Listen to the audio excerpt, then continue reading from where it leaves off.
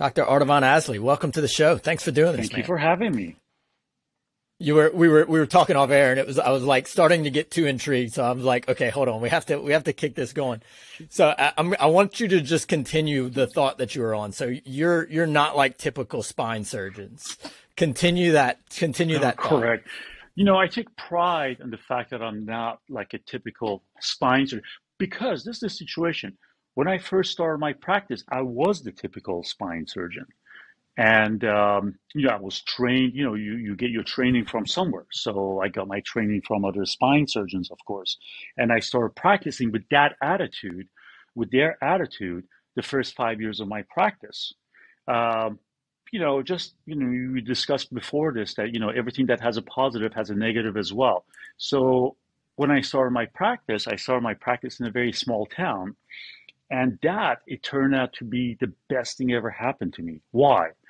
Because in a small town, you get to know everybody. You know, uh, my uh, office uh, manager is related to a cousin of a patient, uh, somebody that I've operated. I bump into him in the only store that's in the in the town. You know, so what that gives me as a spine surgeon is follow up.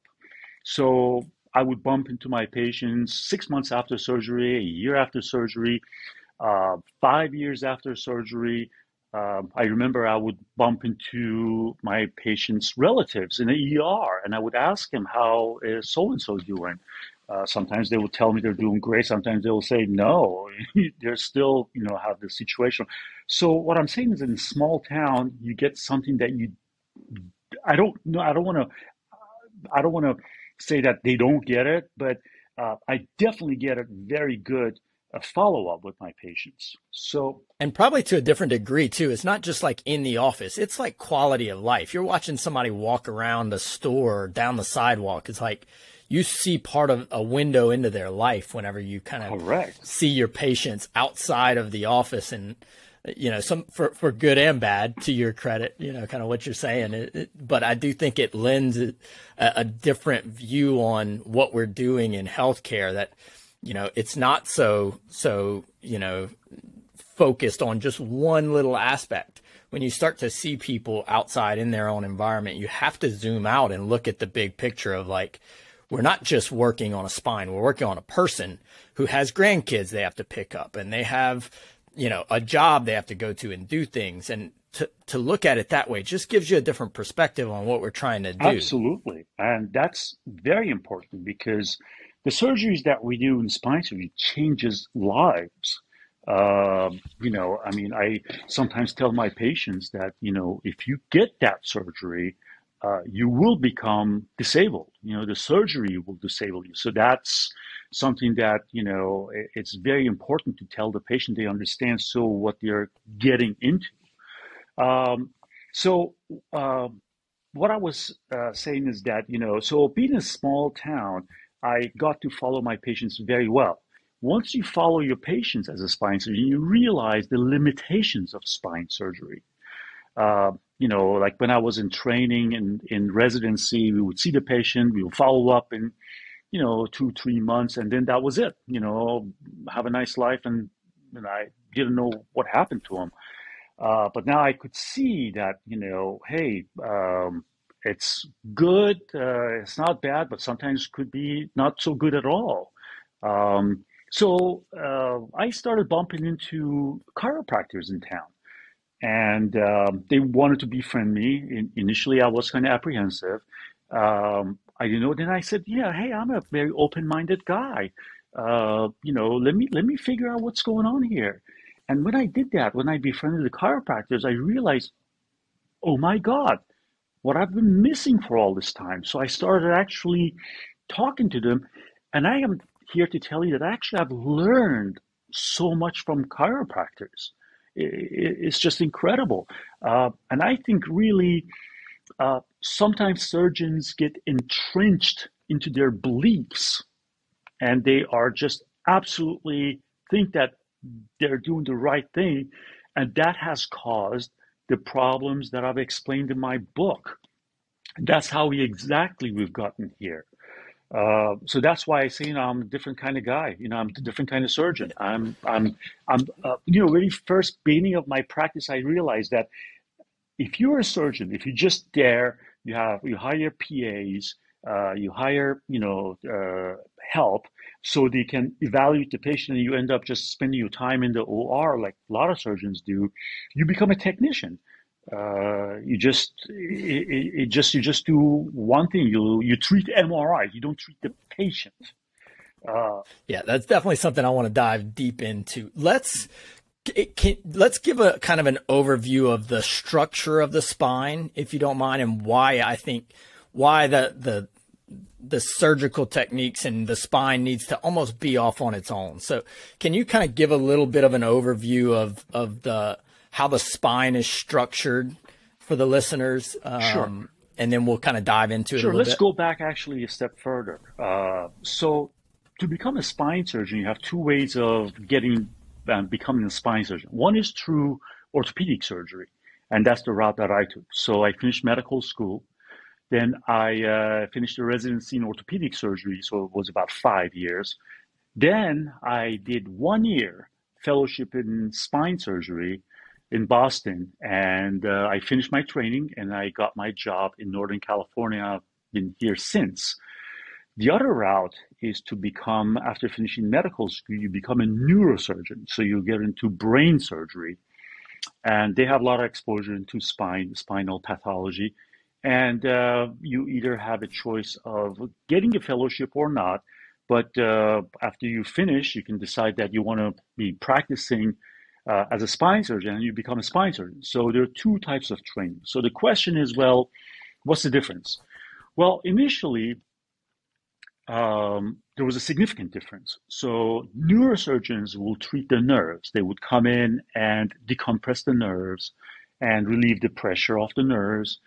And then the orthopedic surgeons came and did the carpentry in terms of putting the screws and rods and that kind of stuff.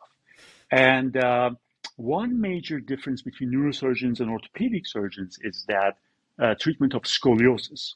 So spine um, is basically a bunch of bones that are stacked up on top of each other, separated by a cushion of cartilage. We call it disc.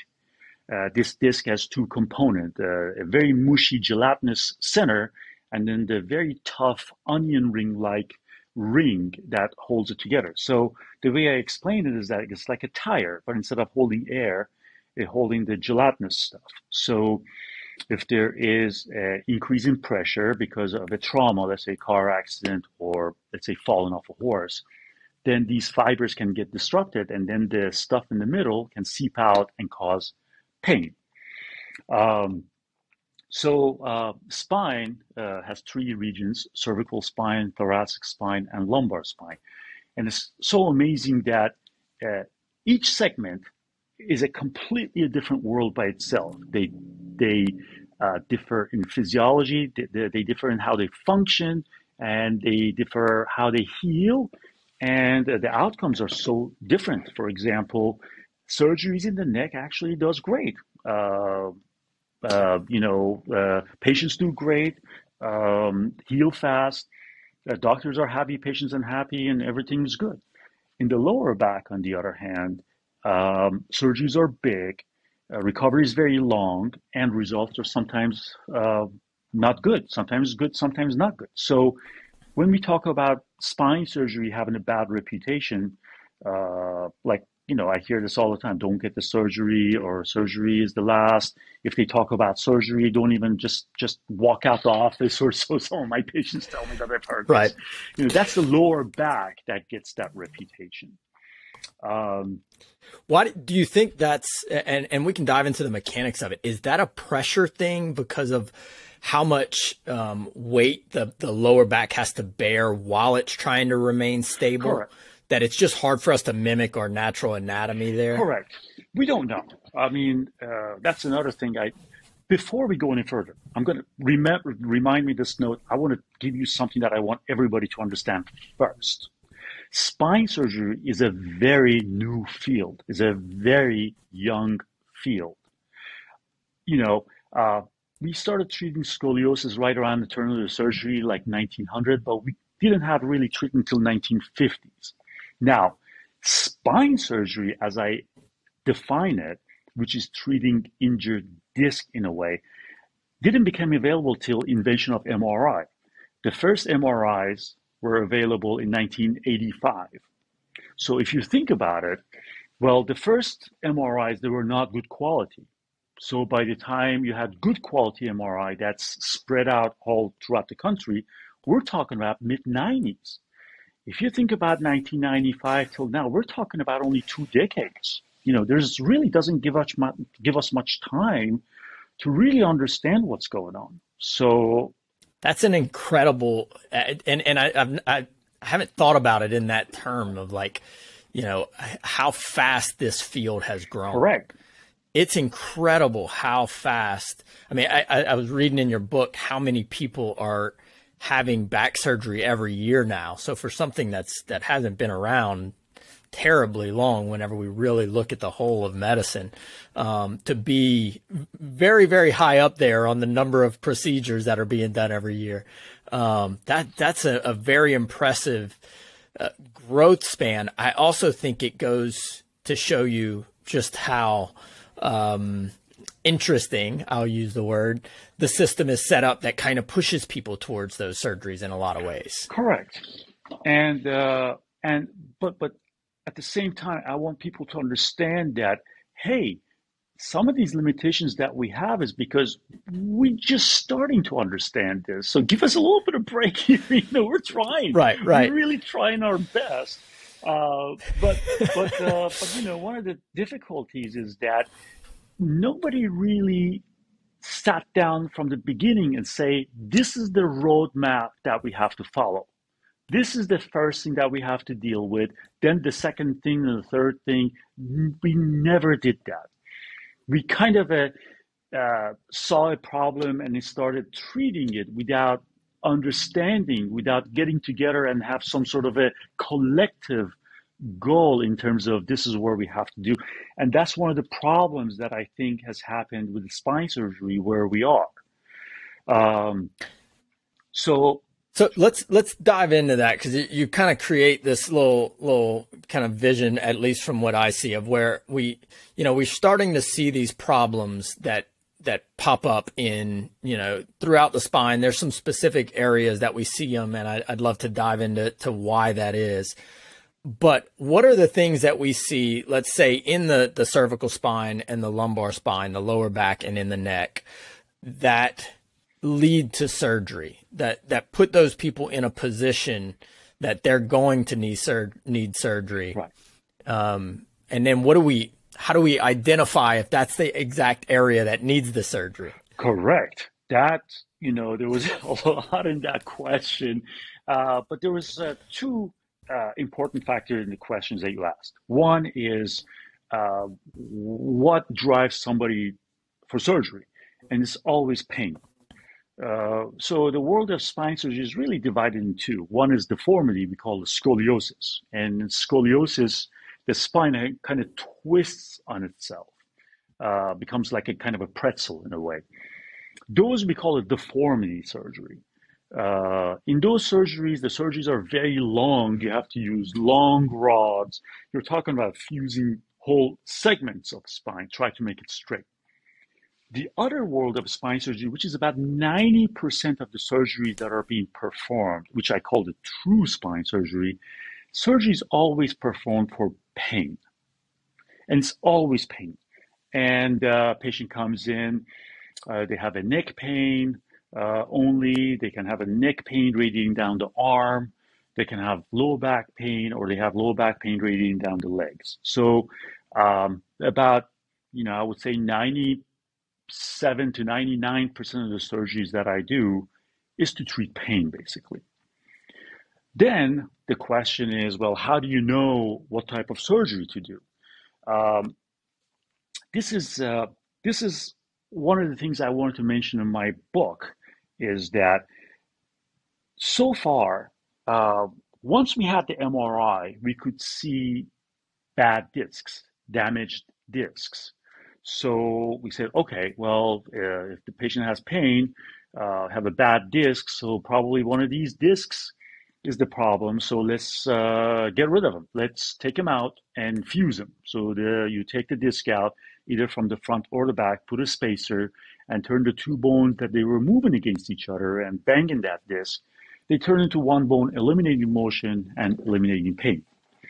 And that's the surgery that we came up with right around, you know, kind of a turn of this, like around 1990s, um, 1970s to 1990s, let's say. And that's the surgery. Now, the question is uh, the problem is this the best test that we have to see the disc, to see the damage, is MRI. But here comes the problem. In my world, looks don't matter. Like you, let's say a patient comes in, uh, they have a bad back. You look at the MRI, they have a bad disc, one disc between, let's say, L5 and S1, the lowest disc then you yeah. know you can talk to the patient and by talking to the patient you can understand that this is pain mostly coming from the disc and if the patient has one disc then the diagnosis is easy. That l5s1 disc is the problem. So uh, if you have to do surgery let's say you do whatever you can not to do the surgery. And yeah. the decision for surgery or no surgery is purely patient's decision. Because I always tell my patients, you cannot, I cannot look at the discs and say where the pain is coming from or how much pain you're suffering from or what's going to happen to you. Some people get better. Some people don't. We don't understand why, you know, uh, has a lot to do with how long you've had the pain. If you've had the pain for one or two months, then there's a very good chance that you'll get better.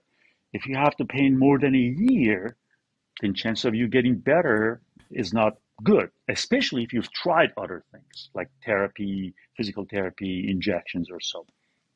So the length of the yeah, it's interesting how much that like when you say how much you're you're doing surgery for pain, and pain is if there's one thing that's hard for us to quantify and identify, it's pain. Like you know, being able to tell a patient where their pain is coming from is one of the most complex things out there because there's so much emotion tied to it, blood flow tied to it, inflammation, mechanics, movement. And we try to identify, you know, what is the pain generating tissue through an image. And we're making all of our jobs pretty difficult whenever we're talking to patients about where their pain is coming from. Correct, especially when it comes to the surgery. Uh, I'll give you an example I had a patient uh, about 10 years ago was a nurse at a hospital. Uh, and uh, she came to me. She had a very bad neck pain.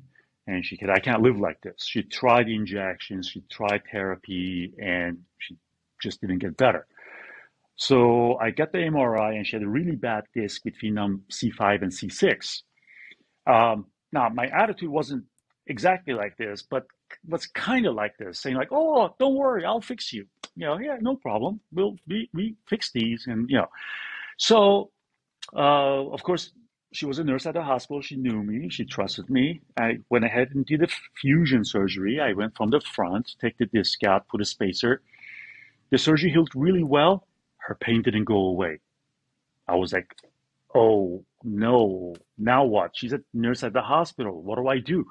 you know, and she stuck with me actually uh, for a year. I me myself, I sent her to other surgeons as a second opinion. Uh, other surgeons saw her, at least two, and said, Dr. Aslie did the right surgery. The surgery is healed. We're sorry. Uh, this is it. You're stuck with this. So I followed her for about a year.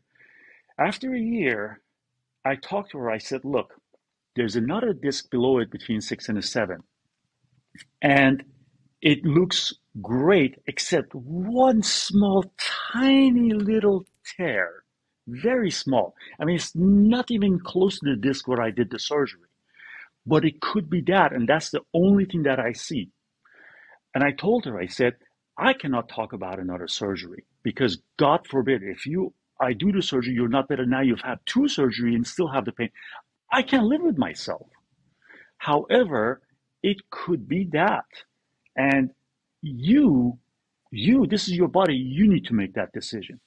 So she came to me. She said, I can't live like this. I'm going to take my chances. I would like you to do the surgery. So I did the surgery on the disc below that it was much better looking than the disc, and the pain went away completely. I mean, that just tells you what a difficult job as spine surgeons we face in terms of doing the surgery, one surgery, and fix everything.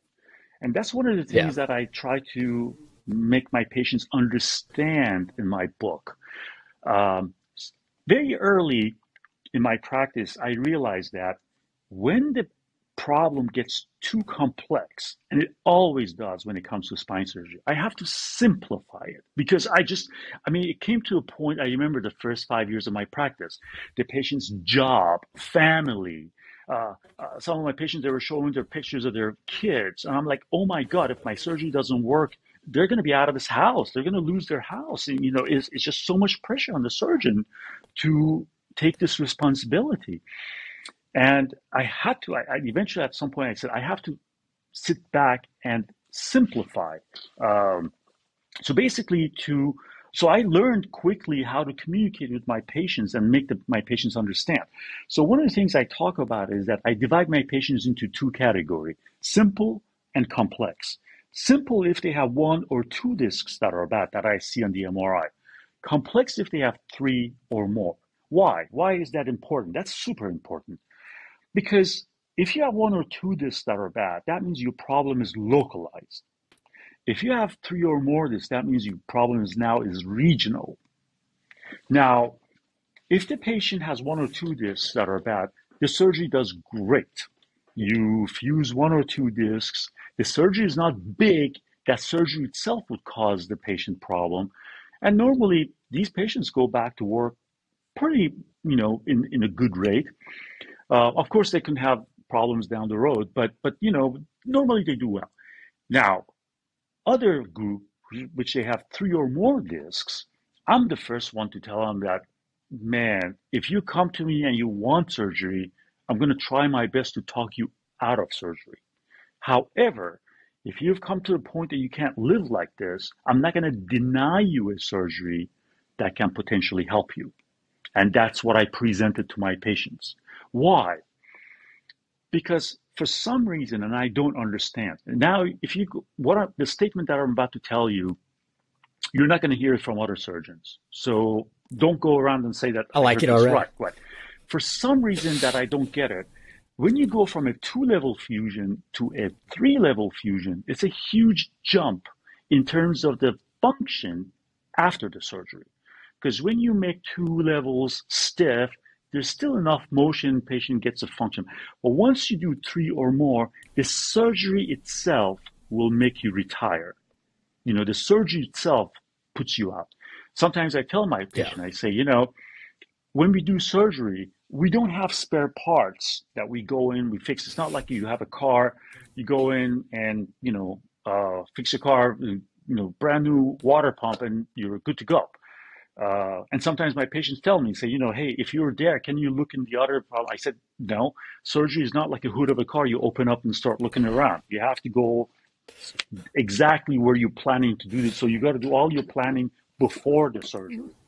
Um, so yeah, so if you do one or two level fusion, these patients do it. But if you do three or four level fusion, the magnitude, if you don't have a problem, let's say you have a perfect back, we do that surgery to you, you end up in pain, that amount of scar tissue, because the surgery, we discuss it amongst ourselves, among surgeons. Surgery is a controlled trauma.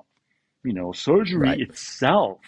Uh, well, the question is, well, why do we do surgery? What, what do you mean? You know, you? Well, here's the explanation. It's very simple. When you have a bad disc, that bad disc pain is a sharp stabbing pain that will take your breath away. It is something that does not respond to pain medicine and it's just severe, patient cannot tolerate.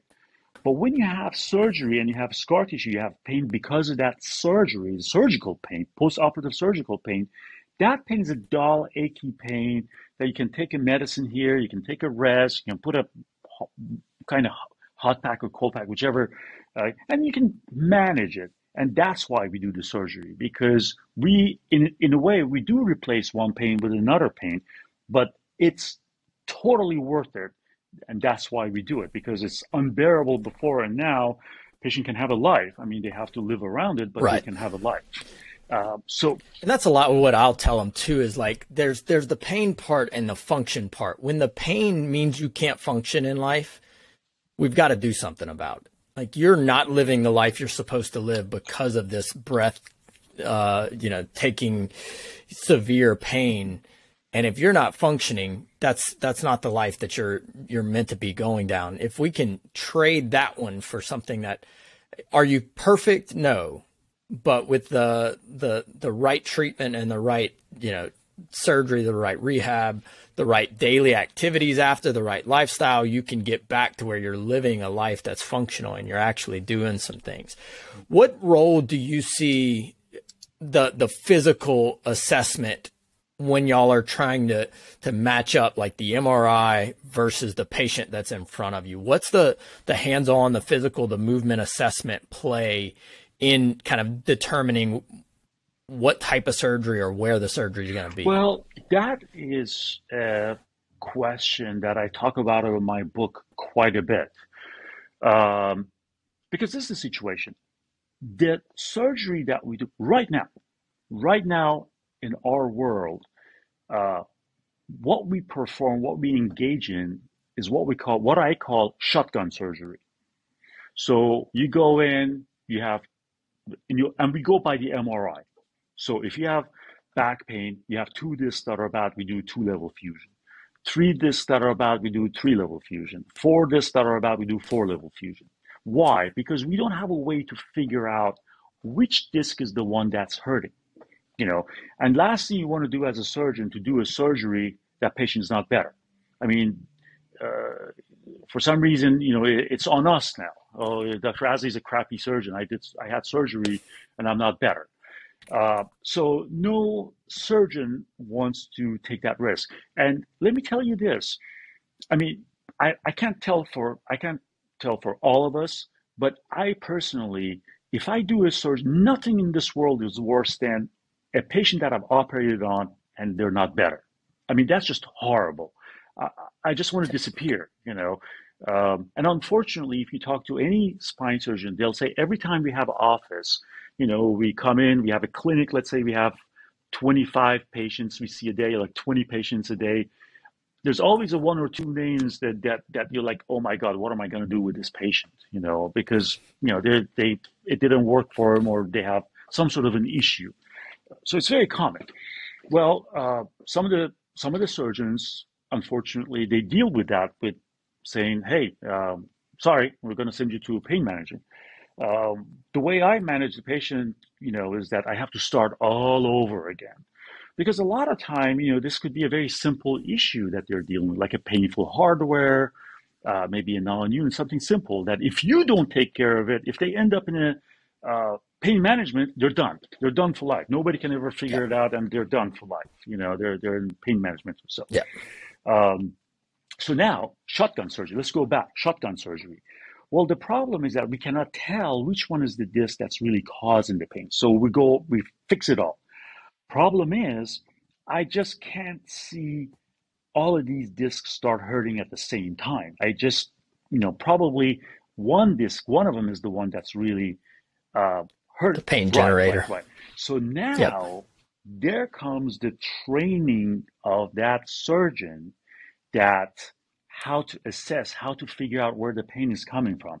This is when observing the patient, examining the patient comes into play significantly. For example, I always tell, and I, and I mentioned in my book, the way the patient walks, the way the patient sits, the way the patient gets up from the chair. These are all a clue.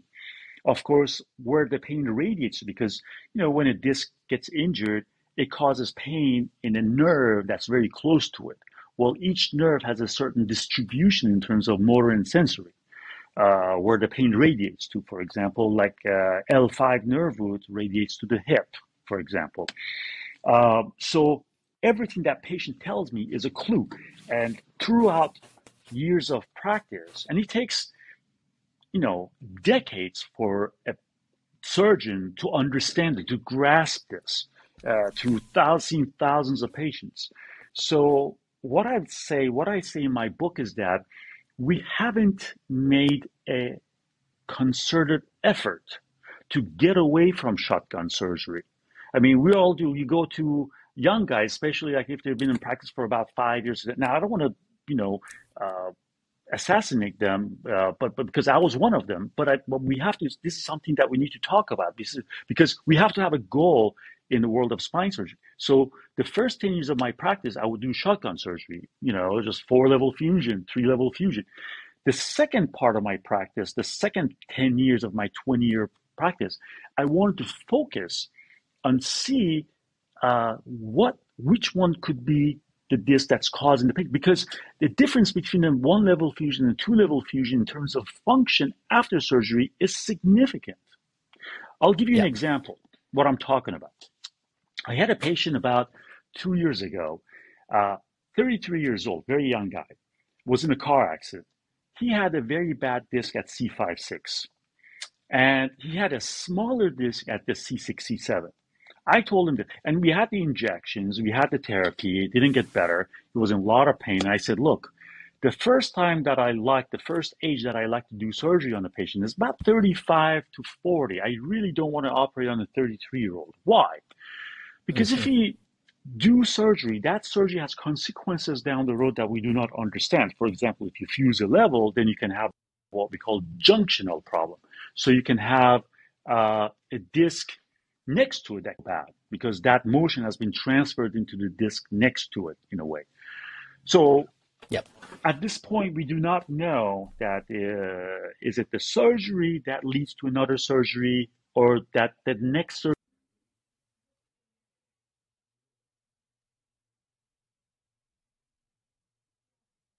Okay? Can you hear me? Okay. Yep, I got you. So yep.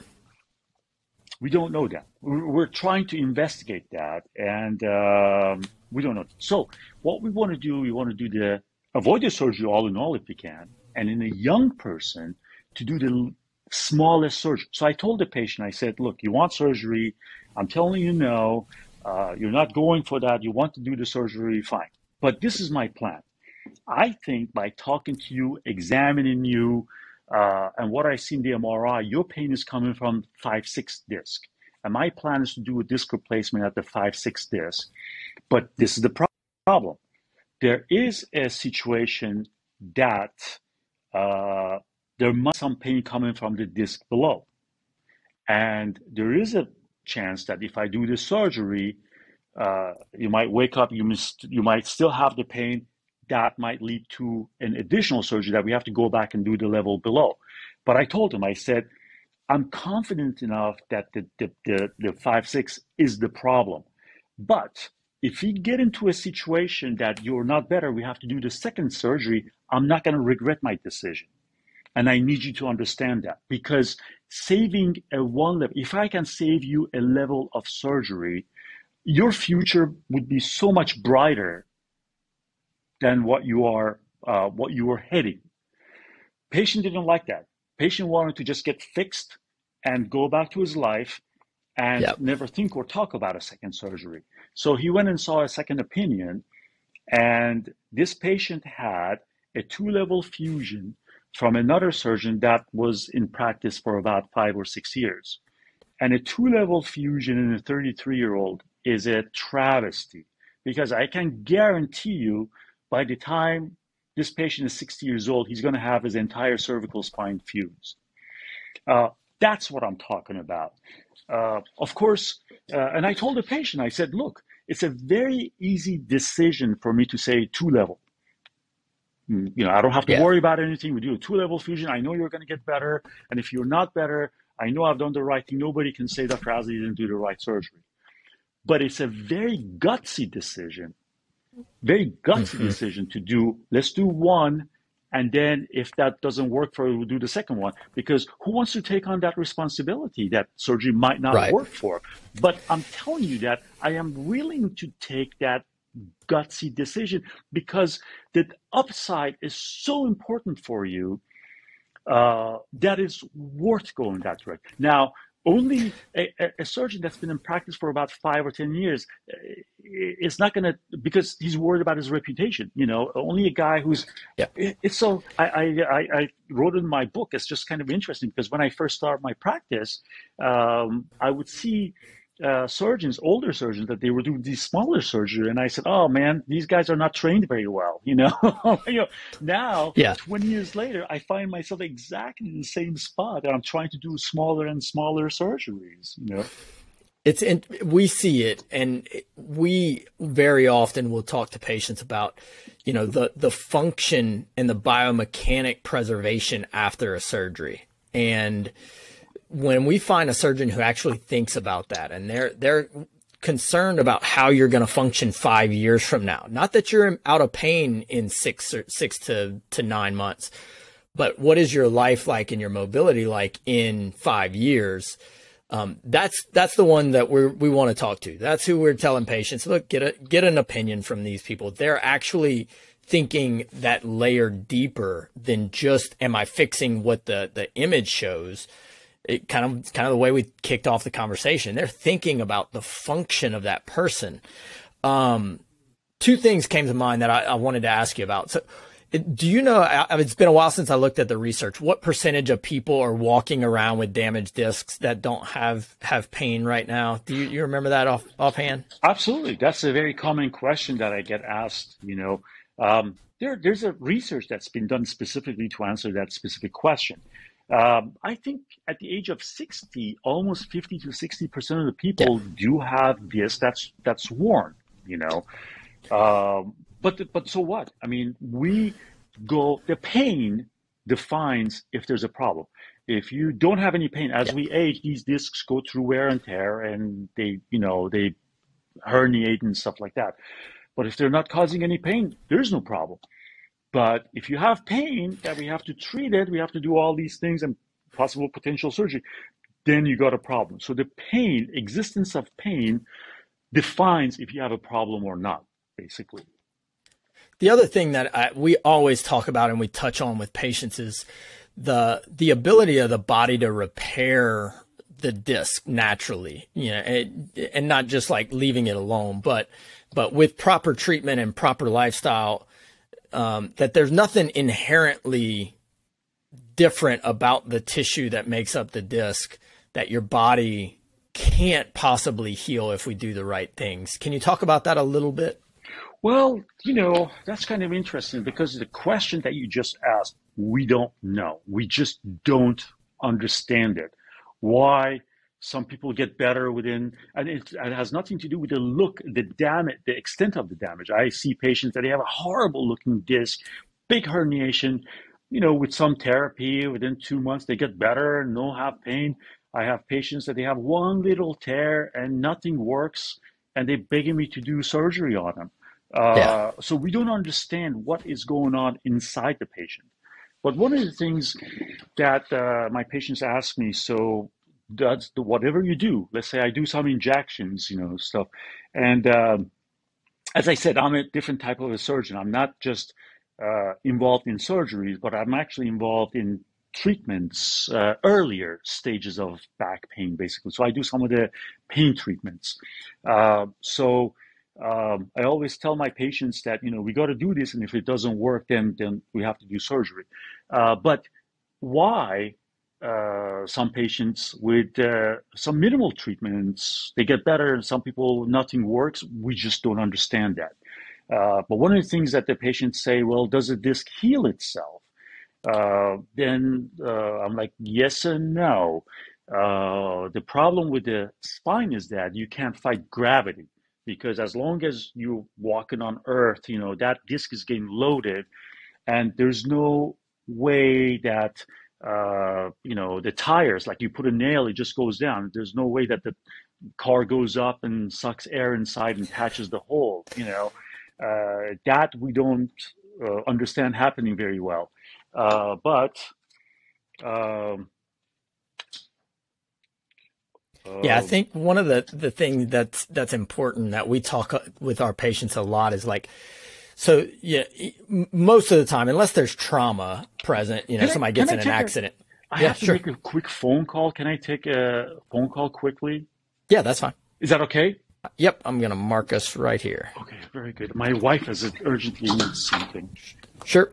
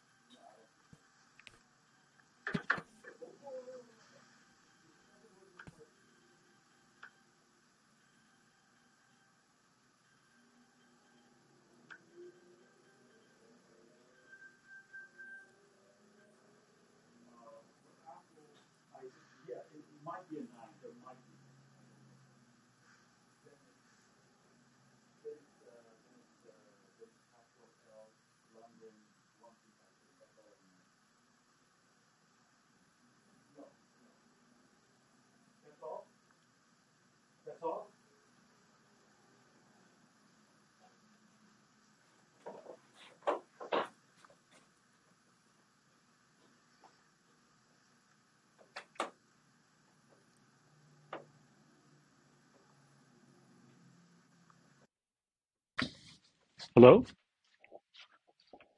Hey, I got you. Ah, okay, great. Oh my God, my wife.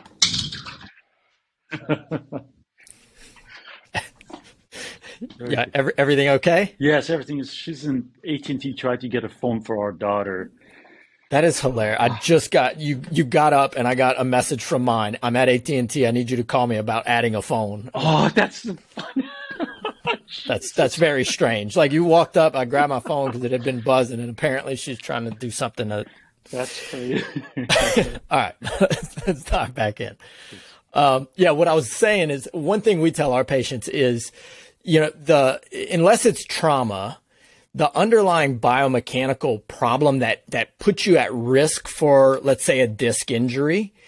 If we don't do something to resolve that, if that situation is still underlying, then it's really tough for us to think that your body could heal it. It's like you having a cut and us continuing to pull pull the cut apart and thinking like, why isn't this cut healing back up together?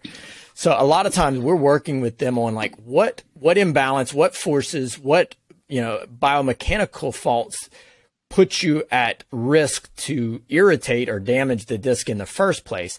If we don't fix those things, then even an amazing surgery, injection, rehab, any of that stuff is just not going to be as successful as it should be. Correct. And that's exactly what I tell my patients. Uh, and it comes down to basically how you treat your back. I tell my patients, you don't tell your back what to do. Your back tells you how you can live your life, and you better listen to it. And it all comes down to basically their occupation. Uh, you know, if I have a lot of patients that they work in the uh, in a, in a let's say uh, carpentry or mechan- auto mechanic or um, they work at a warehouse or so. And every job title is different. I have some patients work at a warehouse, they have to lift 100 pound weight. I have patients that work at a warehouse and all they have to do is just walk around and write some notes, you know. But it always comes down to lifting. Lifting is what's going to set you back. And uh, the problem is that you can lift something right now, you won't feel pain till two, sometimes three days later. And because and you can go absolutely pain free for a few days. And because people cannot connect the two, they don't know what's going on. And uh, and and that's something that you know. I sometimes I tell my patients, I say, you don't need surgery. You need a new job. Uh, you need a new career, really. And and and Yeah. sometimes I even tell my patient, I say, look.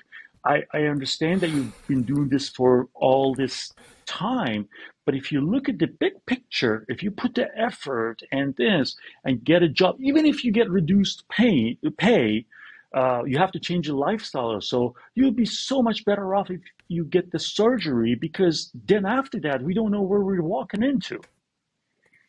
You mentioned something earlier that I wanted to jump into, and that is kind of the science around disc replacements and their effectiveness. I get so many questions from patients about, you know, am I a candidate for, for a disc replacement? What's the difference? What does it do? Let, let's, let's dig into that a little bit. Um, you talked about it. Let's start at the cervical spine for, for disc replacements and, um, kind of go into, you know, when do you see that work really well? Um, what would patients be dealing with if that was was an option? Because I think the the lower back might be a little more a little more complex on that. Sure, uh, that's something that you know. As much as my book is very controversial, and I uh, talk about all how the industry has driven the spine surgery into a dead end, their dead end, where they get all the benefits and patients don't. And uh, I I didn't want to create extra controversy, but I wanted to kind of brush up on this disc replacement uh, issue kind of a quickly. I just wrote like a couple, just one paragraph. Um, of course, the biggest, uh, let's just go back and explain what we mean by disc replacement. Uh, so far, we've discussed that the, the, treatment for a bad injured disc is to take the disc out and turn the two bone into one bone and fuse the two levels. Well, with that, the problem is that now that stress gets transferred to the disc above and below, and now you keep going. You can go on and on and on and on. You know, every two, three years, five years, you get you know another fusion till your entire spine is fused. So we wanted to stop that. We said, okay, can we replace it and not fuse it? So um, first disc replacement that was uh, available was for the lower back. When it became available, oh my God, we just all the surgeons rushed to learn and start doing the surgery. Well, quickly the results came back and they were not that good for the lower back. Uh, so it's a complicated, I don't want to get into it, but right now I would say lower back disc replacement, you can just kiss that goodbye. And I think has two problems with it. One is because of the stress that the bone, uh, bone metal interface, that interface is under a lot of stress in the lower back. Two, the anatomy uh, when you go from the front to do the disc replacement, in front of the spine, there are these big veins we call vena cava, big vein, and they're paper thin. They scar down. So if there's a problem, you can't move them out of the way. Uh, people have tried that and they end up killing the patient because it, if it it's like paper thin when it gets burst, you know you can't fix it. It's really dangerous. So a disc replacement is a one-way street. If it fails, patient is done. Uh, so let's not talk about disc replacement in the lower back. Now, when it comes to the neck, I like disc replacement. I do quite a bit. I did one about you know a couple of days ago actually. Now, uh, when do we do it?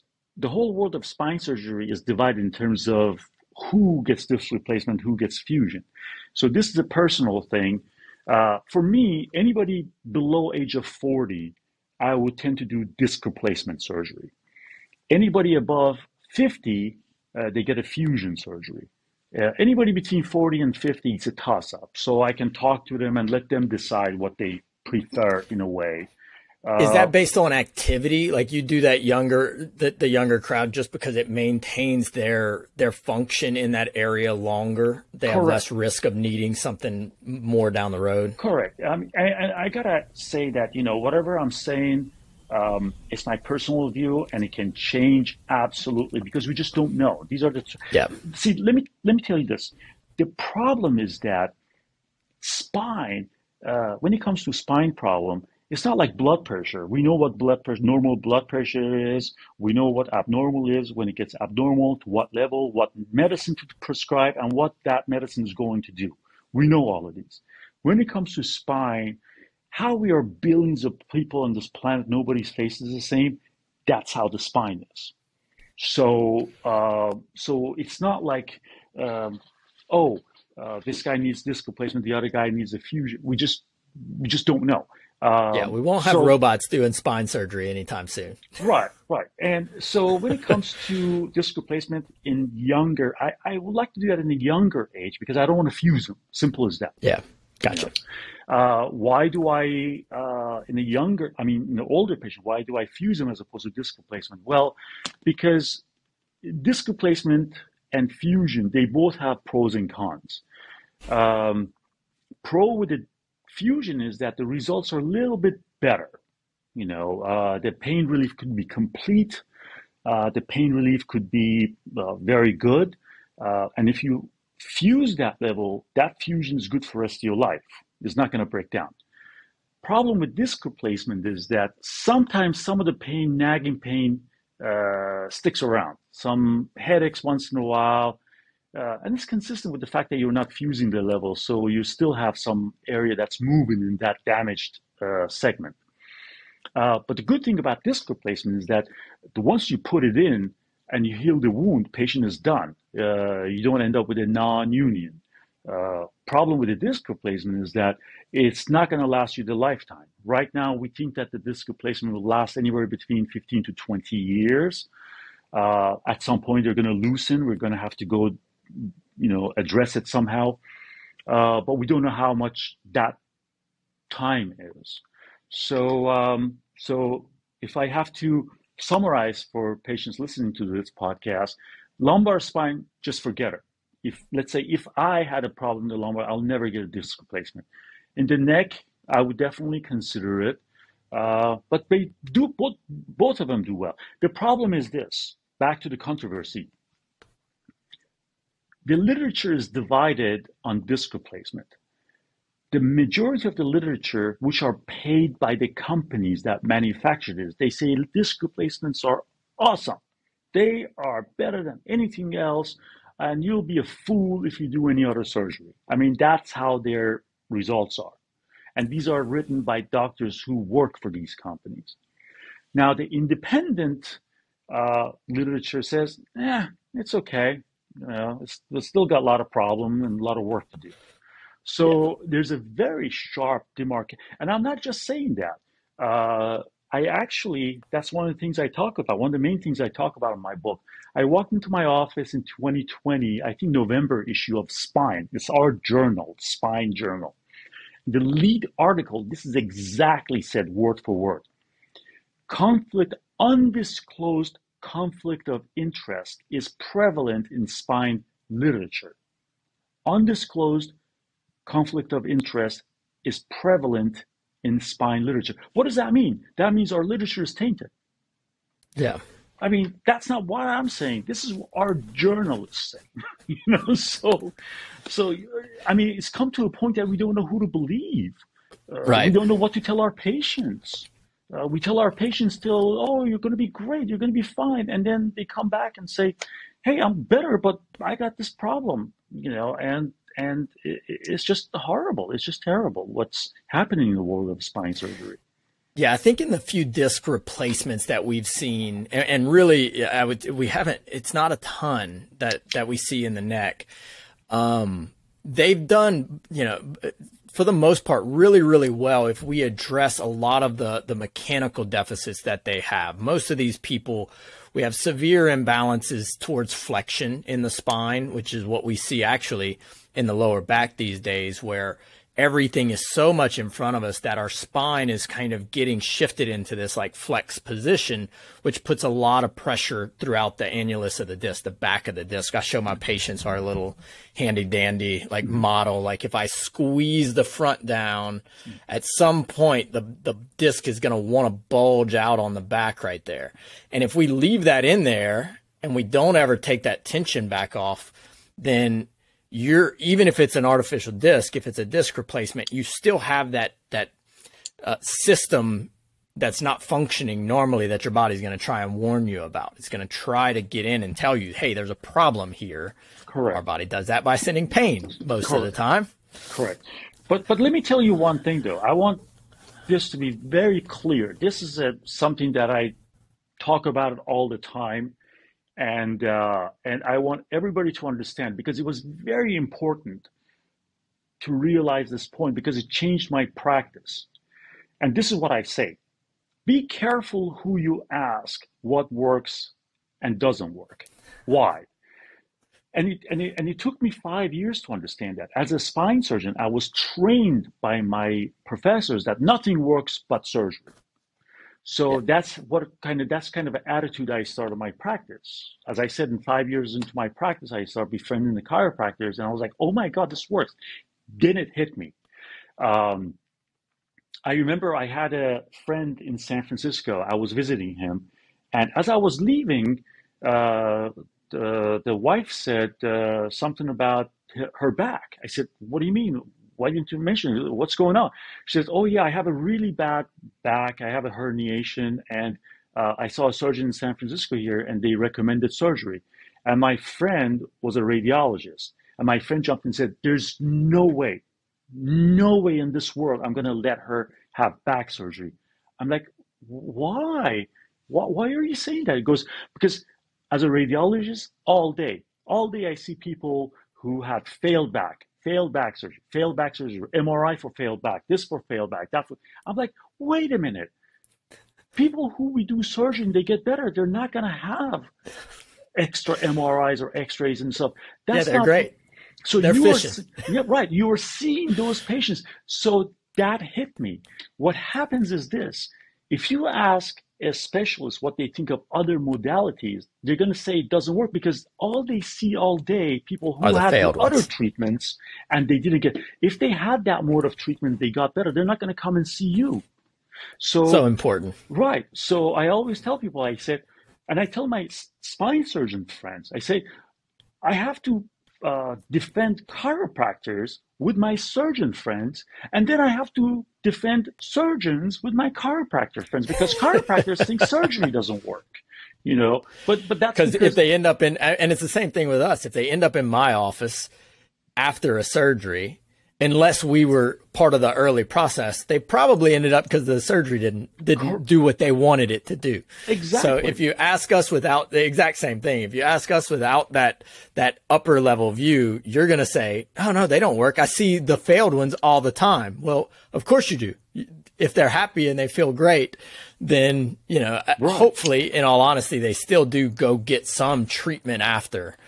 Um, and right. I asked some of my staff before I got on, like, what questions would y'all have? And um, one of the docs here was like, why isn't it just that 100% of them go and do rehab after? Because we still get it occasionally mm-hmm. from some of the older surgeons that say, like, nah, just just walk at home mm-hmm. and and and you'll be good you know right. after something as complex as spine surgery so he was he was like ask him if he knows the answer to that I'm, uh, right, well, right, we can we can dig into that um, right so let's do this. I, I do have. I want to. I want to jump on um, one of your probably uh, soapboxes. Let Let's talk about the way that surgery is performed. Like what's actually being done when we go in and do a lumbar surgery, and what does it look like? What are they doing when they go in there? And um, talk a little bit about using pedicle screws to try and kind of stabilize some of this stuff, and what's actually happening with some of that. Correct, and that's the pretty much the main topic in my book. Uh, this is the situation. So in 1980s, uh, 85 to 1990s, we knew that when we did spine surgery, try to fuse the two bones together, what we would do, we would go in, roughen the bone, throw some bone graft, like bone chips, between the two vertebrae, hoping that it will turn into a solid bone, basically. Well, what happens in 25%, so one out of four patients did not heal. To fix that, we came up with what we call instrumentation. We had learned as orthopedic surgeons that the best way of healing bone is to hold the two edges together in a rigid fashion. We call the we call the uh, rigid fixation with plates and screws. So these screws got introduced into the world of spine surgery right around 85 to 90. So when they appear in the world of spine surgery, they were like, aha, we've been waiting for this. So right around 1995 to 2000, the pedicle screws, they're the large screws that you insert into the bone from the back to the front, became pretty much the standard of care. And they're the standard of care right now. If you have a fusion in your lower back or even the neck, there are some screws in the neck that we use. We use everybody that gets a fusion, we get those screws. Okay? So this is the problem. Well, I was inventing another device, you know. So right around 2013, I was I knew that there was a problem with these screws. Why? These screws get inserted into the vertebrae. Well, the block, the the the, the uh, spine bone, the vertebra, what we call vertebrae, is not a one solid block of bone. It's an outside shell is a very solid bone we call the cortical bone, but inside bone it's like a shoebox. The inside bone is a spongy bone. We call it cancellous bone. So when the screws get inserted into the vertebrae, they actually get their grip from cancellous weak bone, not the outside bone. So they're, they're, they use it weak bone. So what happens, like when the age goes up, right around 65 and above, this cancellous bone gets really weak. So we have a very big population problem with the aging population. These screws will just pull out. We didn't know what to do. So I wanted to invent a device that uh, we address that issue. Uh, and my device actually won the innovation showcase in Congress of Neurological Surgeons in 2015. So, uh, so I'm Amazing. legit. You know, my my uh, invention did win an award. But this what happened as I was developing that device. I was studying in more and more detail. I had some problems. To solve those problems, I said, well, let me look into screws, say, how did they solve that? Then I figure out that, oh my God, they had the same problems in screws as well. Then I said, well, why nobody talking about this? So one thing led to another one, led to another one. I found that, oh my God, this is just crazy. What happens is that I looked back at all the papers about these screws. What I found out was frightening. So in 1990, 1990 to 1995, when these screws appeared, the results were not good. Actually, there were about 7,000 lawsuits at some point against the manufacturer. We call it uh, a company called Medtronic. 7,000 yeah. lawsuits. So the lawyers not only sued the manufacturer, but they sued the surgeons as well. There were about 500 lawsuits against American Academy of Orthopedic Surgeons and North American Spine Societies. Okay, so that was in 1990 to 1995. Right around 1993, one paper was published by a surgeon named Dr. Zdeblick. He is the chairman of University of Wisconsin Spine Surgery right now. He published a paper by himself, and uh, this paper got published in 1993 and said screws work beautifully. Like they work perfect. They improve fusion rate, they imp- improve outcome, and they are beautiful. Once that paper got published in Spine, it gave us green light to use the screws, and we just went just crazy with it. Basically, we started using it for everything. Well, here comes the problem. Between 1999 and 2003, six papers, independent, multinational, multi-center, multi-author papers came out and said these screws don't work. They do not increase fusion rate and they do not improve outcome. So I said to myself, when I found this out, I was like, oh my God, this is crazy. Well, let me do a little bit more research. Let me find out about that paper in 1993. I thought for for some time I was living in a movie. I swear to God, if you if you have a movie that's like about uh, uh a medical uh, controversy, uh, or, or you know, this one this one you can't beat this. This is like so bad. So Dr. Zdeblick, and this is all what I'm saying. It's in Google, it's in uh, New York Post, it's in uh, Wall Street Journal. So he published this paper in 1993. By 1996, as the lawsuits were disappearing, he started getting paid from the company that was manufacturing these screws and actually were being sued. From 1996 till 2004, he got paid $34 million. It's just crazy. Wait, just when you think it doesn't get worse, it got 10 times worse. So he got paid this money. By 2005, they put him in charge of another important study, uh, a study for a product called BMP. It's a bone graft substitute. Uh, so when we do the fusion, we have to get bone chips. Well, we have to get the bone chips from a donor area. Uh, the problem with spine surgery is that that donor area then, then became a problem. So we wanted to avoid uh, getting bone graft from a patient himself. So there was a hormone that uh, called BMP, a product called BMP that came out, and it promised us that it would alleviate need for harvesting bone from the patient. So it's substitute. It's a bone graft substitute. Yeah. Well, uh, and it's a very expensive product. They put him in charge of that study. This time in 2005, he got caught with his results in 2005. As a matter of fact, this is not Wall Street Journal. This is not New York Post. This is an investigation by United States Senate. United States Senate concluded that that paper in 2005 was not, even though it was published under Dr. Zdeblick's name, but was not written by Dr. Zdeblick. It was written by the company. Wow. Isn't that crazy? Isn't that crazy? Just, just, just, yeah. just wait. It gets better. So, so we, so now, bottom line is that we have six papers said this stuff doesn't work. We have one independent, paper, not right. nobody backing, nobody getting paid. Right, right. It gets even better. Wait, this is just when you think it doesn't get better, it gets worse.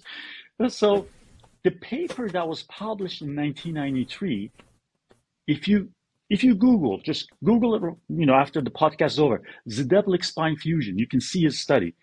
This study was published in 1993 as a preliminary report. I spent about two years to find the final report or final thing. I couldn't. I eventually talked to one of these professors from Midwestern University. He said, Oh, yeah, that study was abandoned in the middle, was never finished got the results they wanted, shut it down, let them do, let them put the, the screws in. It is crazy. You know, I mentioned in my book, I went through rigorous training in my residency. I remember award winning papers getting torn apart. Oh, they didn't do this, they didn't count for that. You know, yeah. right now, right now, if you open the website for North American Spine Society, right now, and you look at the recommendation section, the recommendation sections for use of these screws, you will find Dr. Zdeblick's paper as a reference. If you Google Zdeblick spine fusion, you find that paper, you will see that's been referenced in 1,101 articles as of yesterday. 1,001. It is the that paper in 1993 is the most referenced paper in the entire world of spine surgery. So, so I was like, okay, Dr. Zdeblick did that. What about rest of the spine surgeons? What about leaders of the field? You, I get, I get, I got torn apart for mentioning papers that they were award winning. You guys got the paper that was not finished, a preliminary report as a final say. I mean, how crazy is that? Uh, yeah, that, that wouldn't that wouldn't work in any other aspect of uh, you know whether like you know put that in the the dietary you know nutrition medicine anything else. There's no way that's flying. It's it's it's beyond. So anyway, so biggest thing that patients probably would ask me or readers will ask me will say, well, why didn't you mention it to the leaders of the field? Why didn't you mention the conferences that you go to? I have. I have ambushed these so-called leaders. I have chased them down. They have they have yelled at me. They have said, I, I remember one guy in in uh, uh, uh, Cervical Spine Research Society. I told him, I said, I need just five minutes. Five minutes. I want to talk to you about. I, he said, no. I said, just give me five minutes. I want to show you. No, get away from me. That's the response I got. You know, uh, you want to hear. Do something? you think that's because they really believe that that what they're doing is right, or is it that look, this is the way we're doing things? Let's not let's not rock the boat. I'm gonna I'm gonna I'm gonna get to that very specific question that you just asked, but let me give you a story. This is a story that happened to me, so it's not like some story that I heard from somebody and somebody took it out of the proportion. This is my story. I was in uh, North American Spine Society in 2016, so not too long ago. Uh, I got up, at that time, my knowledge wasn't what it is now. So right now, I mean, I was just starting to figure things out. I, st- I just starting to question things. So I got up and I said, you know, hey, we have six papers that saying this stuff doesn't work. Maybe they're trying to tell us something. And then, you know, and I sat down and then they answered some, some, you know, the, the podium, the people on the podium, they said something that we're aware, but we can deal with it later, something like that. So I didn't want to get into argument. I sat down. 20 minutes later, I'm getting coffee. I'm talking to a, a rep and he introduces me to a surgeon behind me in the line. Uh, I'm not going to mention names, but uh, he told the surgeon, he said, Dr. Aslie doesn't like the screw. He goes, Oh, you're the gentleman that made that comment about the screws. Well, I just want to tell you that uh, everybody is uh, welcome to their opinion, but you're very wrong. I said, It's not the fact that I'm right or wrong. It's about the research. The research says that this stuff doesn't work. Maybe, just maybe, they're trying to tell us something. He goes, I know. I published those papers. Those are my patients. I said, Oh, yeah, what's your name? He told me my name. So, well, let's find out. I had the papers in my hand. He was the second paper, he was the fifth author. He said, See, that's me, that's me. I'm like, Okay, well, let's see your read your paper. I swear to God, this is what the last sentence says. Based on the, pres- uh, on the presented evidence, we do not recommend um, routine use of pedicle screws. He looked at it, he struck his chin and said, No, that's wrong. And he walked away. That was his paper. So, anyways, now back to your question. So, for three years, I had this burning question in my head what is going on? Because there's a sharp difference between neurosurgeons and orthopedics. So When I talk about to neurosurgeons, they're like, oh, yeah, you're right. Oh, yeah, sure, we understand. When I talk, say this to orthopedic surgeons, they want to kill me. The second that I mention something about that, I question the validity of screws. They just want to tear me apart. So I had to, I had to figure this out, and I found it. And this is how it goes. As an orthopedic surgeon, it gets hammered into our head for five years that the answer is rigid fixation of uh, fractures. That gets hammered into our head. So, as a subspecialty of orthopedic surgery, we learned what we learned in orthopedic surgery. We applied those same principles to spinal treatments. Well, I'm coming out with my book saying that we should have never done that for many questions, which I've explained in detail. But this is how it goes. The concept of rigid fixation works in the extremity, like arms and legs, for one very important reason. Because if you have a construct that's not very strong, or you want to, com- you know, you want to protect your construct, you have the option of eliminating gravity. You can either put the patient in a sling, or you can put them on crutches and non-weight bear, right? You cannot right. eliminate gravity in spine. You cannot uh, hold the patient, suspend him in the air for about four months at a time. That what that means is that the second that patient gets up, that construct, those screws and rods are under stress. So it's no different than making a building a high rise in a in an earthquake zone. We've learned that you don't make the construct stiff, you make it flexible so it can turn and dissipate. It's the same concept. So what I explain in my book is that we need a new set of instrumentation, I call it reactive rigid fixation. Not rigid fixation, but reactive rigid. That means that as the spine gets stressed with the instrumentation, the instrumentation can flex and dissipate that energy. And you don't have screws cutting through and everything falling apart and just coming out. Same exact thing. And that's how we should be thinking. So basically, I'm come to the conclusion in my book that spine surgery was never meant to be a subspecialty of orthopedic surgery. Spine surgery is a completely different field. There is nothing in orthopedic surgery that you learn that's going to make you a better spine surgeon. As a matter of fact, if you are transitioning, going from orthopedic surgery to become a spine surgeon, you have to unlearn everything you learned in and relearn what spine surgery is.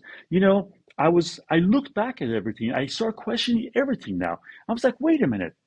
When you become orthopedic surgeon, you study for five years, and in that five years, your exposure to spine is super minimal, very minimal. And we all, you can ask any orthopedic surgeon or orthopedic spine, they'll tell you that. So yes, Our exposure is very minimal.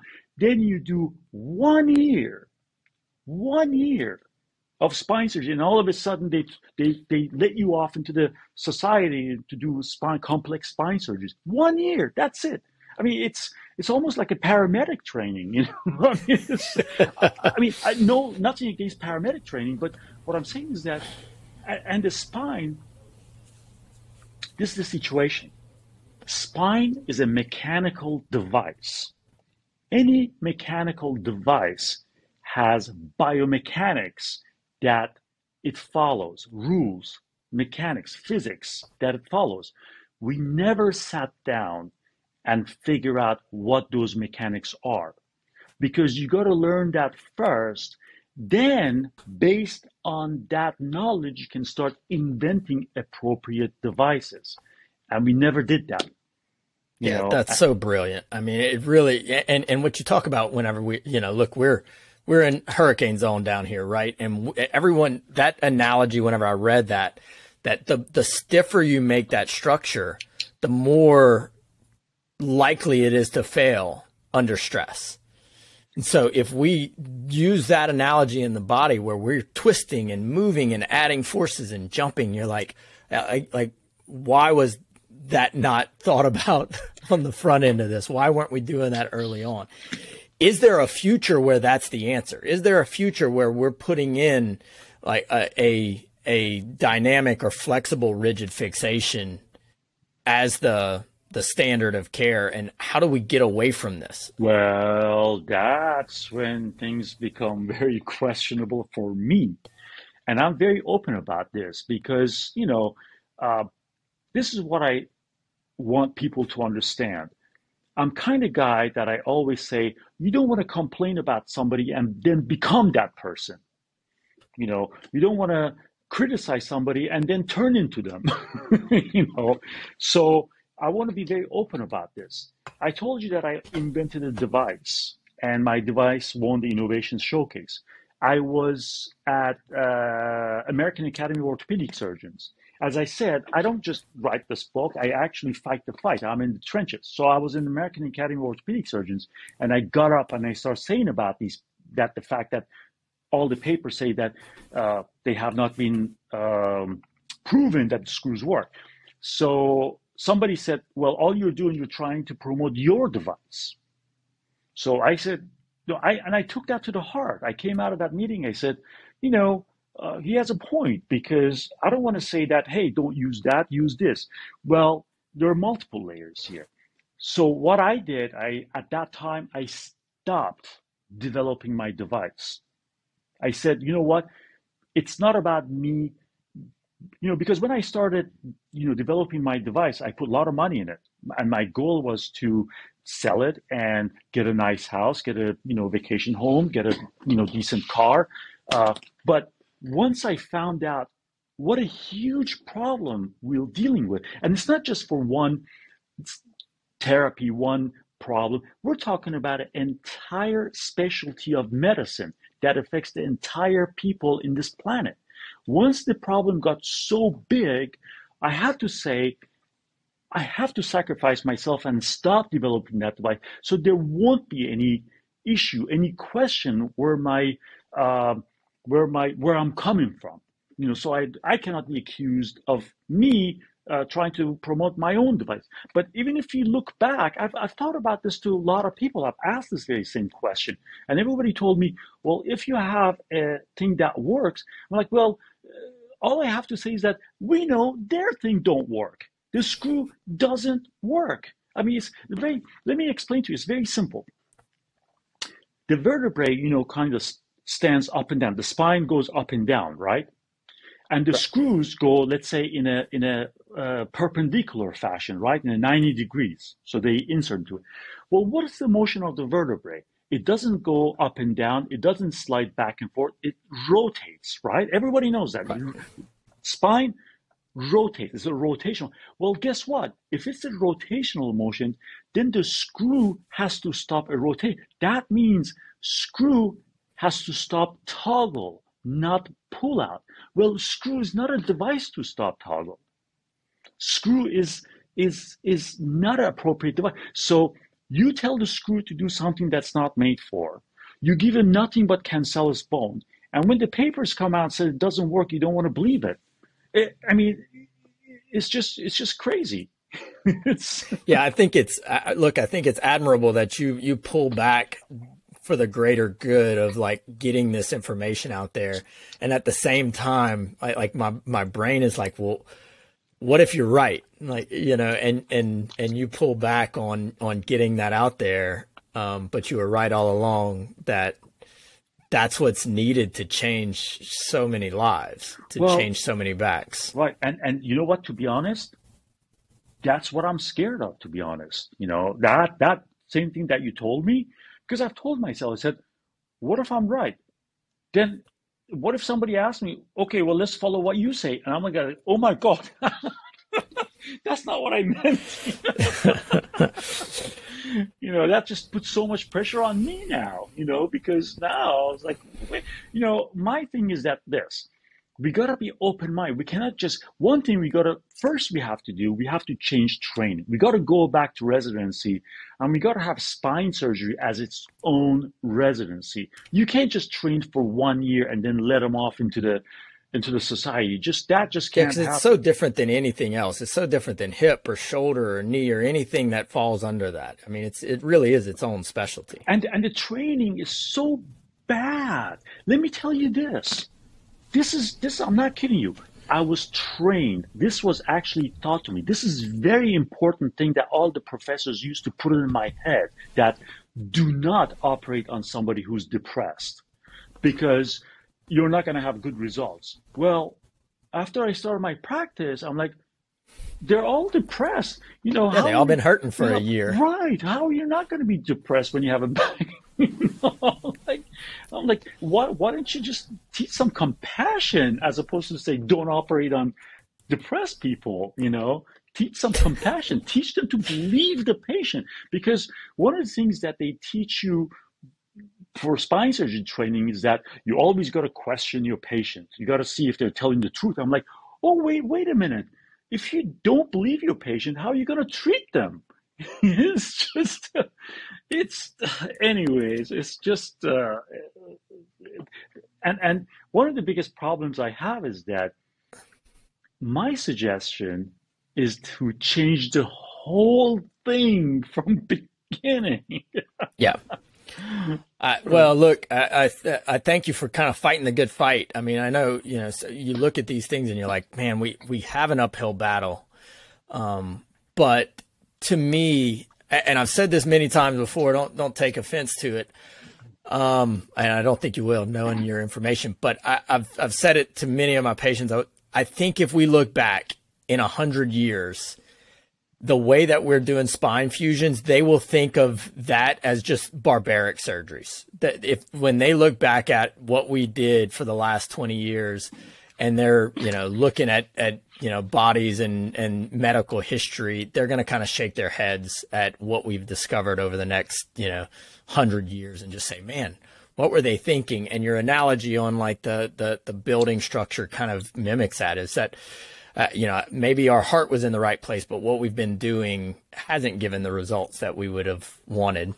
But but wait, why do I take an offense? And let me tell you this. Let me tell you this. I teach young surgeons that the attitude that you should have is that there must be a better way. You, I question them. Somebody has to question me. That's the only way we can progress. Uh, and, and and that's one of the added one of the reasons we've gotten here because the, the surgical training is this rigid military training that you shut up and you do exactly what I'm told and you stand there and you don't never question the professors. And that's how we got here. So yeah. what you told me is absolutely I teach people say you got to have an attitude that you can do it better than me. I mean that's the only way we can and that's healthy. That's I did. I, I like it that way because if you don't have that attitude, we're not gonna go anywhere. We're gonna, you know, I mean, and that's some of the things that I tell these surgeons. I say, if you're sold out on the screw, right or wrong, if you say that this is the best thing that can happen, we're not going. We're on a dead end. We're not going anywhere, and that's the worst you can do. Yeah, Yeah. And you're just not looking at the data if you really think that that's the best we can do. We know we can all be better. Um, having these conversations certainly helps. Dr. Aslie, thank you for writing the book. I'm, I'm, I'm and on the, the home stretch of, of my first book. And so now anytime somebody writes a book, I'm like, thank you for doing that. The amount of energy and stress and, and, uh, mental trauma to get your information on the page is so valuable and so helpful for everyone. So I really appreciate everyone That's, who is you know, taking that, the time to do it. Right. That's not even the half of it. You know, my wife was very scared for me. My wife, my wife was questioning me, says, you know, you have a good practice, you have, you have a good life, you can just ruin this, you know, and you're going to become a target with very, very famous people. And, but I told her, I said, I can't go to sleep at nights. I, I, I can't live with myself if I don't. I, I have to. I, I have to let people understand what we're doing to them. It, yeah. it's, it's just, just crazy. It's so helpful. Um, Doc, we ask all of our guests if you could tell patients or people one thing that they could do today to get a little bit healthier. Um, let's bring this home for them. Give them a little bit of action tips that, that they can do. What would that one thing be? Uh, you got to have a, you got to definitely weight control is very important because the more weight on the spine, the faster it's going to wear out. Uh, eat well, routine exercise to keep your bone quality well and lifting lifting is going to get you. So uh, you know uh, be very careful. It's and because there's a delay you know it's it can it can uh, you cannot connect the two together. So uh, yeah the, the the the more what i tell my patients like you don't tell your back what to do. Your back tells you how you're going to live your life. If you have that attitude then you can have a very good life Um, Doc, we're going to put links to corporate spine. Um, where else can people find you? Where can they follow you? Where can they, they kind of get in touch and um, catch you online? I have a, a website, corporate book, um, corporatespinebook.com, corporatespinebook.com. I have prepared videos. It'll be hopefully up in about a you know week or two but I have actually every chapter I've come up with a video that I explain just in case people don't understand or they can't read the book. They can actually watch these videos and I explain every chapter. Uh, so I will uh, I will be reading the comments. Uh, I just don't have time to go back and forth, you know, answering them. Uh, but I can, but I'll definitely read the comments. And if the comments are certain things, then I can have more videos to ask answer those questions for them. I love it, Doc. Thanks so much. I appreciate the time. I appreciate everything you do. Keep keep fighting the good fight. I love it. Thank you. Thank you very much. Beautiful. Thanks, Doc.